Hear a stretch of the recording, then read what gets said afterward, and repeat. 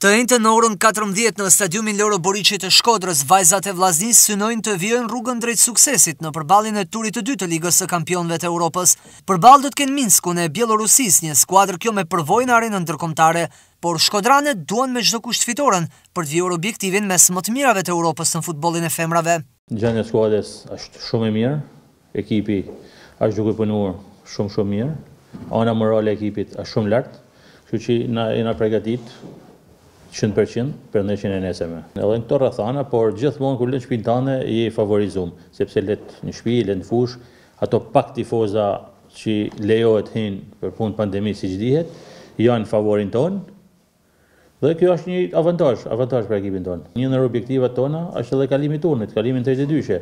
Megjithëse na e dina vështirësinë e shortit, e dimë që ka ra një ekip që vazhdimisht është në elitën e futbollit europian, e futet në tridhjetëdyshe vazhdimisht, por gjithsesi ne jemi duke bërë hyzmetin, punë shumë, sepse thamë edhe, thashë më përpara, objektivi jonë është kalimi i turnit. Mendoj se kemi një përgjegjësi shumë të madhe sepse tani është raundi i dytë edhe raundi i dytë është gjithmonë më i vështirë, duke pa historinë e Minskut që janë kualifikuar gjithmonë në tridhjetëdyshe.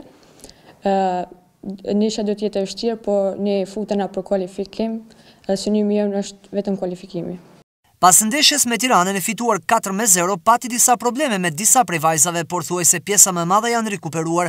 Tekniku Leka dhe kapitenja Franja optimizmin e rezultatit pozitiv e lidhin edhe me analizën që i është bërë ndeshjes së turit të parë ku Vllaznia fitoi me vajzat turke përmes penaltive. Na pregatitena për gjitha rrethanat që mund të bin loja, shpresojmë që ta mbyllim ma heret, por gjithsesi ne jena të pregatitun për gjithçka. Normalisht që do t'i rregullojmë gabimet edhe mos t'i përsërisim në ndeshje me Minskun. Tifozat do të ishin një ndihmë e madhe për ne, por s'kemi ç'të bëjmë, kështu ka ardhur koha edhe shpresojmë të kualifikohemi dhe t'i bëjmë krenarë nga shtëpia. Vllaznia në futboll për femra është ekipi kampion absolut në Shqipëri që prej vitesh nuk lëshon trofetë dhe sukseset, ndërsa ka surprizuar edhe në rrugëtimin europian. Edhe sivjet synon të bëjë të njëjtën gjë në Ligën e Kampioneve të Europës.